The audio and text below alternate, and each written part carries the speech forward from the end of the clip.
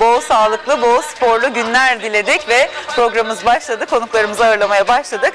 Doktorumuz şu an yanımda. O bir bilim adamı, o bir eğitmen. Şu anda e, seminerler veriyor. Aynı zamanda da jeoloji mühendisi. Hoş geldiniz. Hoş bulduk Berna. Nasılsınız?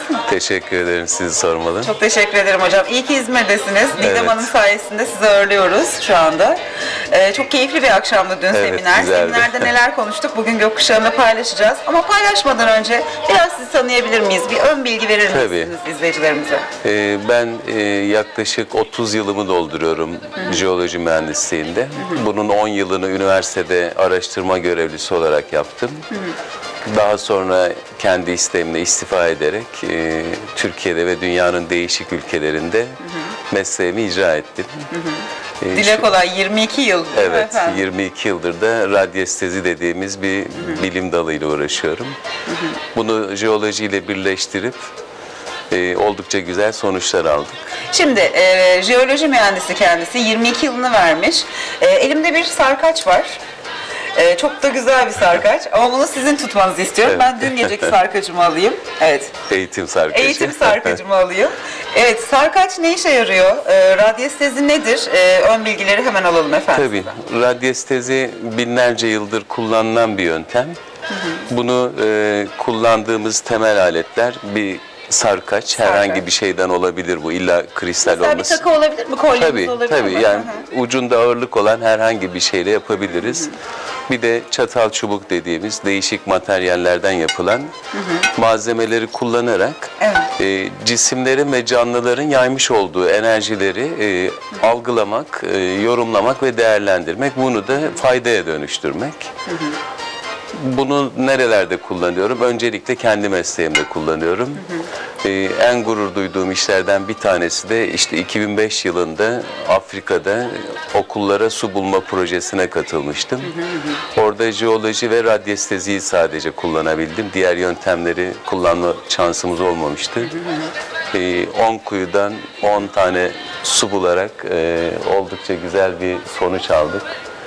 Ee, Şu anda 80 bin Afrikalı çocuk su içiyor, sağlıklı içme suyu içiyor. E, sizin zaten sloganınız e, çocuklar susuzluktan ölmesin. Kesinlikle. E, Afrika anılarınızı biraz paylaşır mısınız? Siz- şimdi siz e, Malatya doğumlusunuz. İlk orta lise eğitiminizi işte Evet. e, Ankara'da tamamlıyorsunuz. Sonra bir e, yolculuk başlıyor. O yolculuk çok keyifli bir yolculuk. Bilim adına bir yolculuk. Tabii. Bambaşka yerlere götürdü sizi tabii. Neler yaşadınız? Tabii çocukluğumuzda büyük bir çiftlikte yaşadık. Ee, orada su bulmak, e, yaşadığımız ortamda suyla ilgili yaşanan sorunlar suya bir ilgi oluşturmuştu. Ankara'da susuz bir yerde o zamanlar.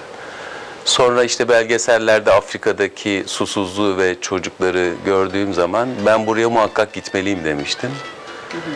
Ee, 2005 yılında nasip oldu. Öyle bir yardım parası bulup Afrika'ya gittik. Ve tek şartım vardı okullara su bulmaktı. Ee, orada su yok diye yıllarca bilinen Afrika'da biz 50 metre 100 metre arasında çok sağlıklı içme suları bulduk. Ee, oradaki çocukların yaşadığı sevinci ve aileleri gördüğünüz zaman gerçekten yaptığınız işten gurur duyuyorsunuz. Bir nevi idealinize de ulaşmış olduk Evet. o zaman değil mi hocam burada? Çünkü burada her nefes aldığınızda orada susuzluktan bir çocuk ölüyor. Evet. Biz de çocuklar ölmesin diyoruz. Sizi çok duyarlı görüyorum. Ee, hani bakışlarınızda bile, o gözlerinizdeki enerjide bile bunu hissedebiliyorum. Ee, sizin dün akşam seminerde söylediğiniz çok önemli bir şey vardı benim dikkatimi çeken. İşte biz insanoğlu aslında enteresan yaşıyoruz. Hani günlük hayatımızda işte yeme, içme, işte bir takım ihtiyaçlarımız, e, işe gelme, gitme ama bunun dışında ekstra kendimize yüklediğimiz, kişisel anlamda geliştirdiğimiz çok da fazla bir mod yok. E, haksız mıyım? Hani insanoğlunun çoğu belki de böyle yaşıyor. Peki nasıl olması gerekiyor size göre? Paylaşmak mı, paylaştıkça çoğalmak mı? Hem paylaşmak hem de e, bize öğretilen kalıpların biraz dışına çıkmak gerekiyor. Hep söylenir işte sürüden ayrılan kuzuyu kurt kapar ve herkes de o kuzuyu alıp ölü veya diri sürüye getirmeye çalışır.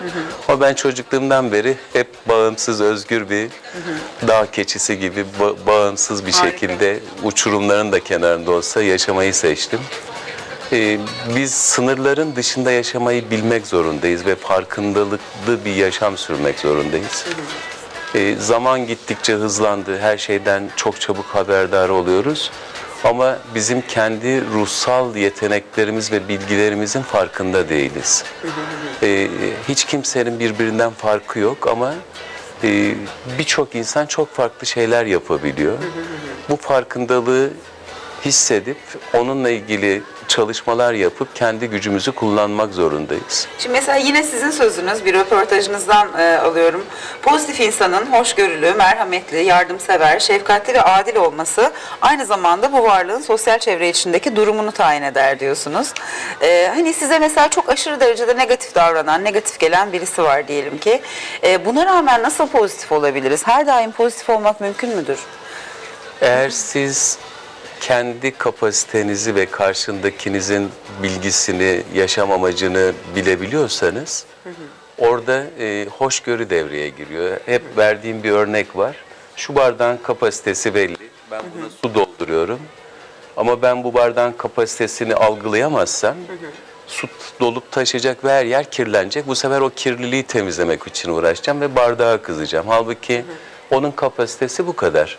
O yüzden biz de insanların ve doğanın e, içinde barındırdığı cevheri, yeteneği, o özü bulmak için bir yolculuğa çıktık.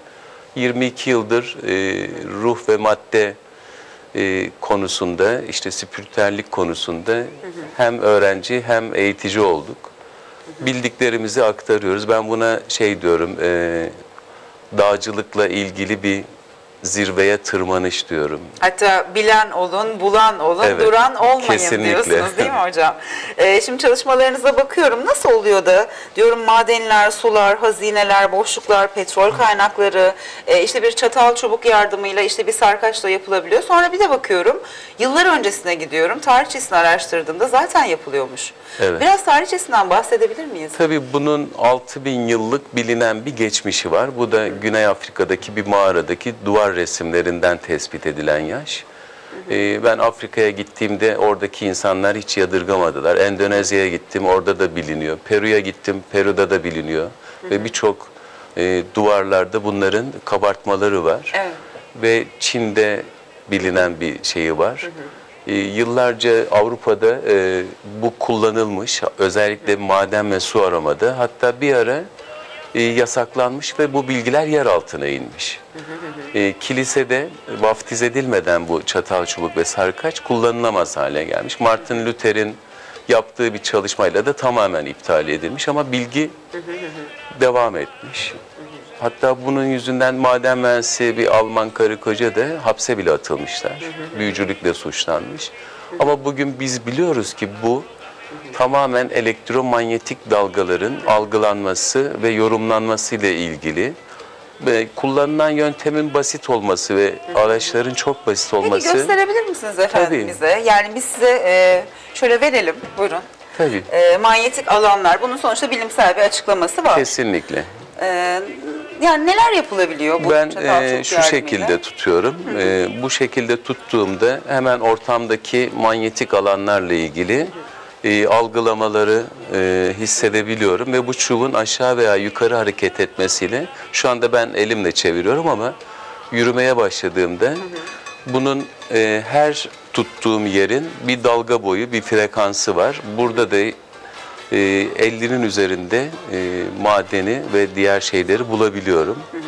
E, özellikle e, burada ben kendi mesleğimde su, yeraltı zenginlikleri, e, son 5 yıldır jeotermal kaynakların araştırılması, işte deprem oluşturan fayların, özellikle gömülü olan fayların tespiti, bunları buluyorum.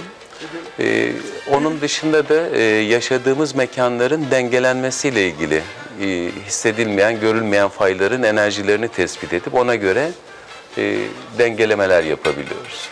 Peki e, hiç petrol bulduğunuz oldu mu? Çok tespit ettim Ee, ama e, çok pahalı bir sondaj işlemi olduğu için e, uygulamaya geçemedik. Ama tespit ettiğimiz çok yer var. En son Dubai'de bir çalışma yapmıştık. Onunla ilgili çalışmalarımız devam ediyor. Bu arada da e, Ukrayna ve Azerbaycan'la ortak bir çalışmamız başladı. Birkaç değişik ülkede e, tespit ettiğimiz yerler var. Peki hocam e, tam doçent olacaksınız, istifa ediyorsunuz. Neden? Şimdi yaşadığınız yere bir renk katamıyorsanız ve sevdiğiniz bir işi yapamıyorsanız orada durmanın bir anlamı yok. Ee, ben de bu konuda yaptığım çalışmalarla e, çok ilginç sonuçlar almaya başladığımda bununla ilgili doçentlik tezi yapmak istedim ama ülkede bilinen bir yöntem değil. Ee, Benim de yurt dışına gitme ve çalışma şansım yok. Dışarıda da çok yapacağım işler vardı. Ee, O nedenle e, bunu e, istifa edip kendi başıma çalışmak istedim. Evet. Şimdi değerli izleyicilerimiz ben çatal çubukla e, arazide olmasını anlıyorum hocamın. Ancak anlayamadığım bir şey var. Harita üzerinde dahi sarkaç yardımıyla bambaşka şeyler yapılabiliyor. Neler mi yapılıyor reklamlardan sonra anlatacağız.